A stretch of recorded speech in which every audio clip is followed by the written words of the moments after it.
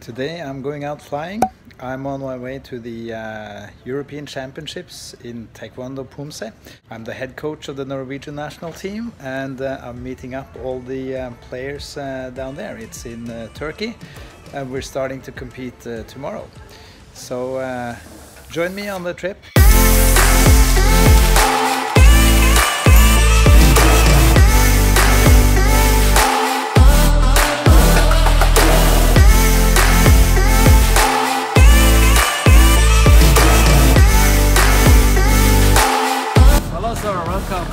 Hello, thank you.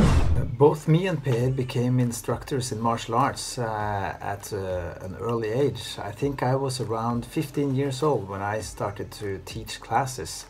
Um, and back in the days when we ran our uh, own gyms, uh, we met a lot of uh, kids and uh, young people who we worked with and trained to become good athletes and also instructors and uh, future leaders. Now these fantastic youngsters are grown-ups today uh, and uh, have their own career and uh, they are great, uh, many of them are great athletes and instructors uh, and I'm also very proud to call many of them my friends. One of these young athletes was Nina Bansal. she was very determined and dedicated to be uh, great. And she is today one of the best taekwondo athletes in the world. And I don't think that anybody has uh, won uh, so many medals uh, in taekwondo for Norway than Nina and her colleague uh, Joachim. now Nina has always helped us and supported us in the early years and that is why I do today what little I can do to help her. Uh, and that is why I am the head of the Norwegian national team. Both Nina and Joachim are the ruling European champions and I want to inspire them to perform, but it is also very inspiring for me to see the dedication they have and the hard work that they put in to perform among the best in the world. So we have a small team, but it's a great team. That is why I am very proud to be uh, on the mat here in Turkey to coach them through the European Championships. So that's kind of the background for why I'm here and uh, what I have, uh, what kind of roles I have also in my uh, spare time.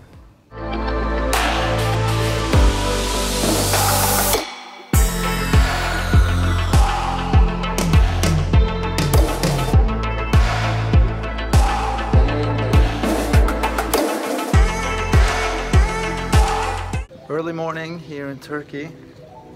Nina's competing today. Getting uh, ready, uh, meeting the team now, uh, just around the corner. So let's see if they're in good shape. We'll get some uh, something to eat and then uh, get in the bus to the uh, competition venue. Accreditation, all good, ready to go.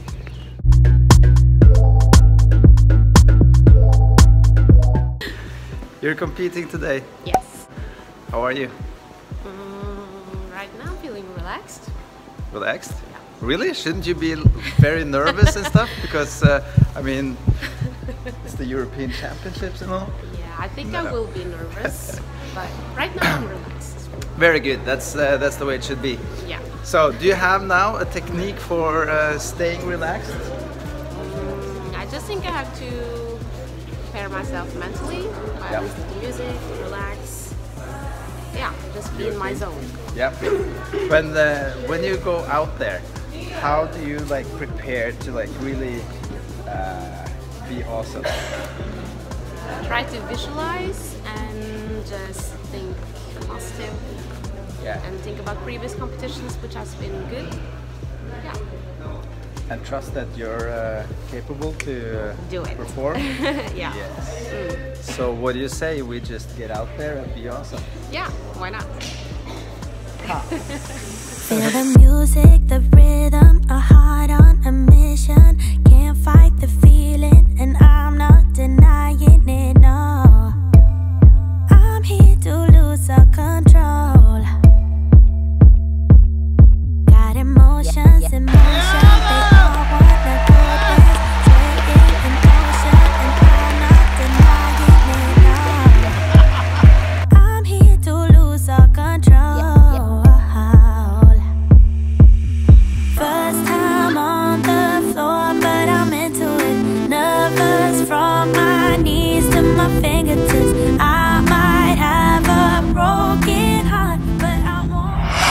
Okay, uh, guys, we are now back in Oslo, and uh, me and Nina are sitting here taking uh, a cup of coffee. She's, of course, uh, more healthy, drinking vitamin well water. Yep. First of all, Nina, can you explain how how did the Europeans go? Um, well, first of all, it went well. I Yes. won. Hooray. Congratulations. Thanks. So uh, that's good. Yeah. But apart from that, it's um, it was quite challenging this time.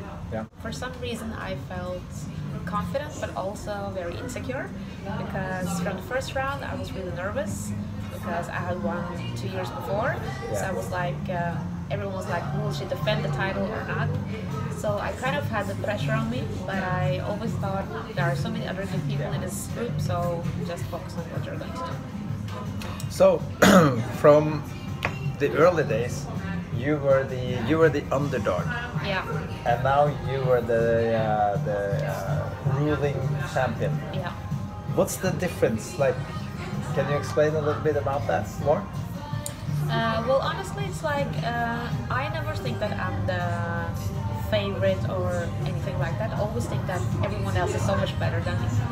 Uh, but that keeps me. Um, when I think about it, it's like people tell me that, oh, you're the reigning champion, you're gonna win, blah blah blah. Then it's like, whoa, okay, I am the reigning champion, so what do I have to focus on now? Yeah. So apart from the people, I always think that I'm the underdog, no matter what.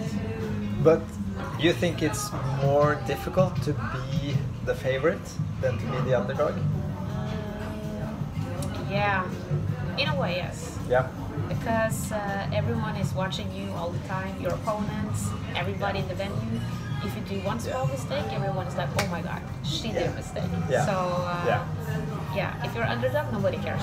No, and then you just uh, okay, yeah, yeah. I or they just cheer for you because they wanted to succeed. Yes. But just to mention it, then uh, Nina uh, did take the gold for the second time in the European Championships. Um, how many Norwegians have done that before you? I don't think anyone actually. No. Nobody. yeah. Yeah, nobody. so she's uh, she's historical, and uh, in Norway anyway. yeah, of course. and um, Joachim also uh, brought home the silver this time. He, uh, he took the gold last time. So both of you actually uh, was historical the previous European Championships because nobody from Norway had ever taken a medal yeah. in the European Championship before. So that's cool. That's pretty awesome. That's pretty awesome. But Nina, you are both an instructor, a very good one, the national coach. You're the best athlete, and you work as a manager in a junior high school. Uh, so, how do you get these good results? What's the, your secret? Um, actually, there's no secret. Um, as I mentioned before, you have to have uh, a passion, and if you really like something, you always will, you always find some way to work it out. Yeah. Uh, because I know I have to work to pay my bills and everything. Um, and then I know if I work, I have to do everything between the hours I'm at work. Yeah. So I need to finish all the work when I'm there. So when I go home, or Discipline yeah, is throughout the day, your work day. Yeah. Of course. so you need to be hard on yourself, and because this is what you want, hundred percent. If you don't want it, then it's difficult to uh, find a discipline. So, guys, thanks for watching and uh, stay tuned uh, for a new episode next week. And do remember to hit the subscribe button.